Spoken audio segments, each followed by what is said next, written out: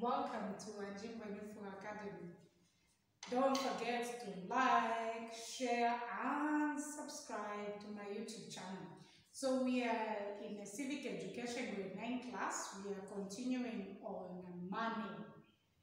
The last time uh, we learned, we talked about uh, the characteristics of good money. But first we defined money. We said that money is anything of value that can be used in the exchange of goods and services. Then we talked about the characteristics of money. We said that one of the characteristics of uh, something that you use in the exchange of goods and services, it should be portable, should be easy to carry around. Not, for example, like stones, it will be heavy for people to carry around stones. Maybe you are moving from uh, Kitwe going to Lusaka to buy something and you have uh, stones to carry all the way. So we said that uh, something that is used as money should be portable, that is easy to carry, and should also look uniform. Not the notes that you are using maybe in Lusaka are different from those ones that they are using in Chipata. This can bring confusion in the country. Very good. So let us proceed. Today we are looking at functions of money.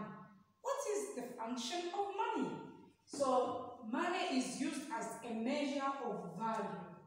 So the value of a good or a service or the worthiness of something or an item can be measured with money. For example, if an item costs 300 kwacha, it is twice as much as an item that costs 150 kwacha.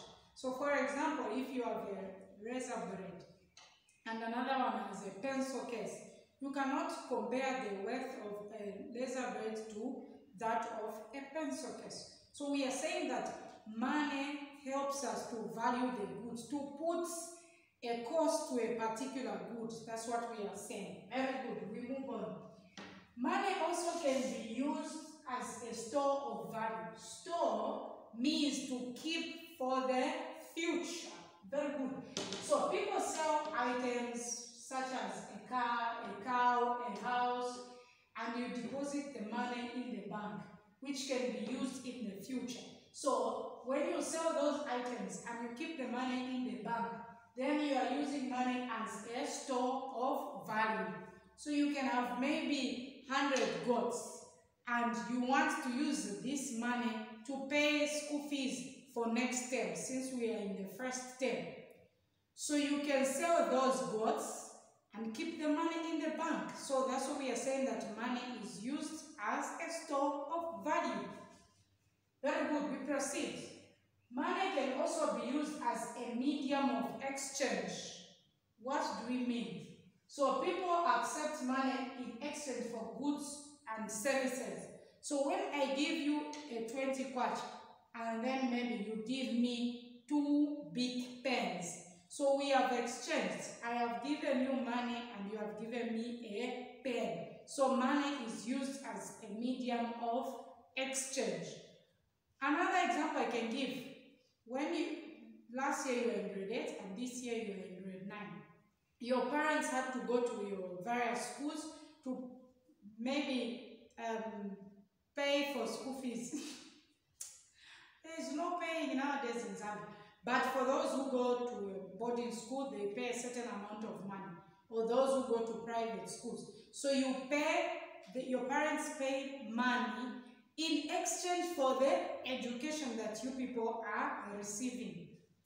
Now, the, um, for this YouTube channel, I don't think you're paying anything to me. Okay, so you are having free education. Yeah, this is called free education. This one you are receiving from this YouTube channel.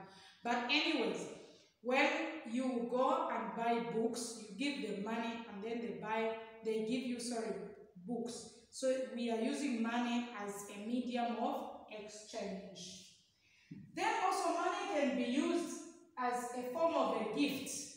A gift, a gift. For example, when it's somebody's birthday or it is your birthday, uh, somebody gives you a 50 kwacha to appreciate that you have added another year to your life or maybe you can give uh, money as a gift. For example, last time you passed very well in term 3, grade 8, so your parents can give you money as a gift.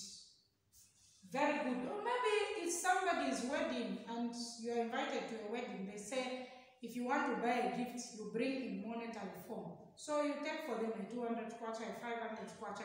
That is a gift. So money can also be used as a gift. Money can be used as an offering in churches. So usually people go to offer in churches. Actually, many churches. I'm not sure if maybe there is a church where people don't offer. I'm not aware. But what I know is that mostly people offer in the church and that money is used for various activities in the church.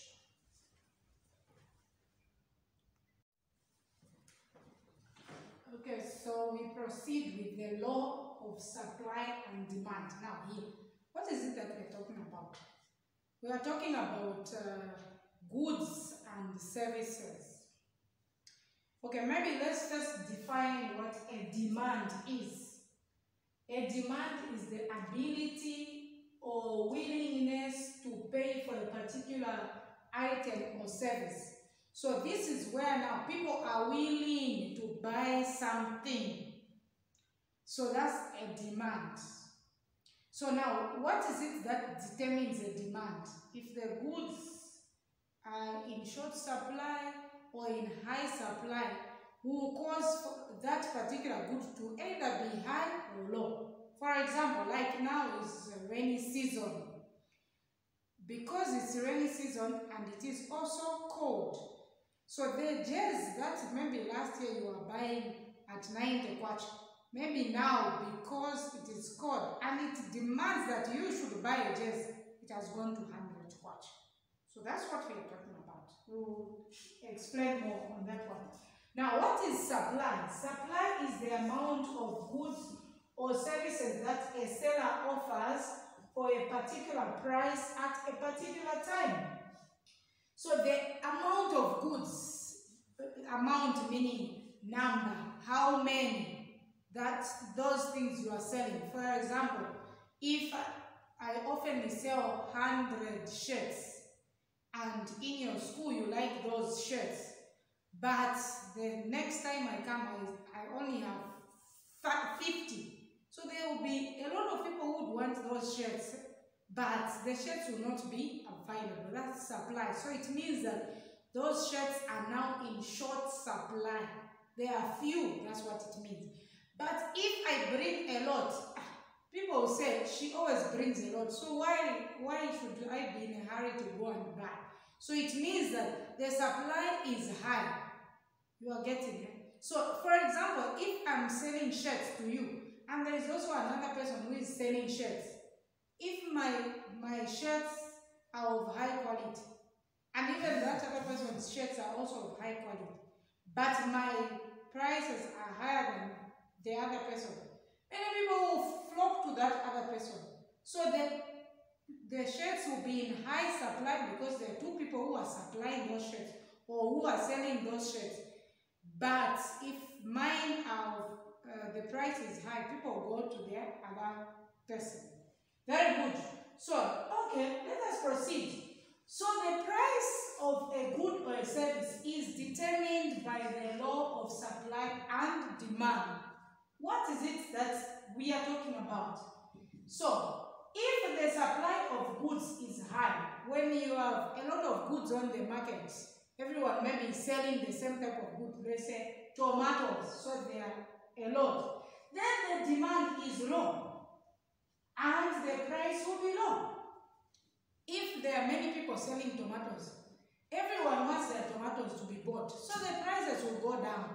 So if we were to write an equation, this is how it would be. High supply of the goods, we have given an example of tomatoes, then the demand will be low. Uh, people will not be rushing to go and buy those tomatoes because there are plenty on the market.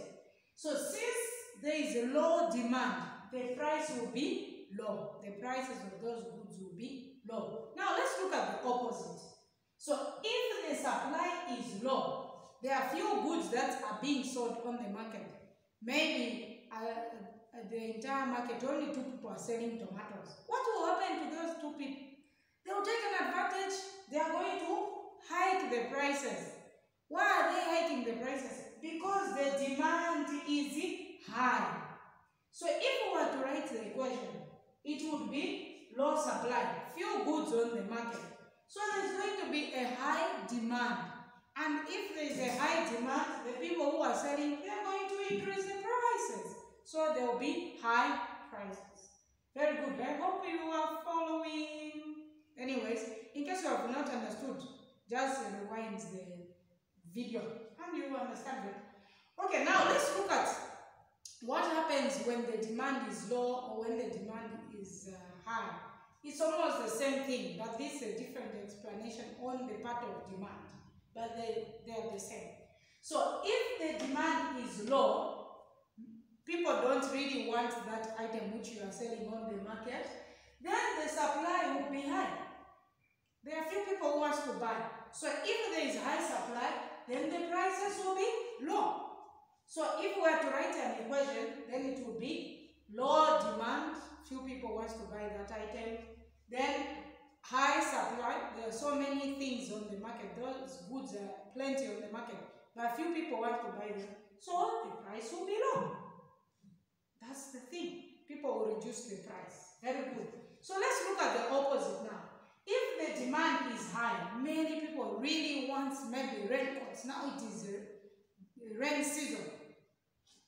And the supply is low. There are many people wants to buy raincoats, but few people are selling raincoats. What will happen to the prices? There will be an increase in the prices. So if we were to write an equation to be like this, high demand, many people want this particular item, then there's going to be low supply. If there is no supply of this item, which is very much needed at that particular time, there will be high prices. So, that's it for today. Don't forget to like, share and subscribe to Angy Ngwenyufu YouTube channel.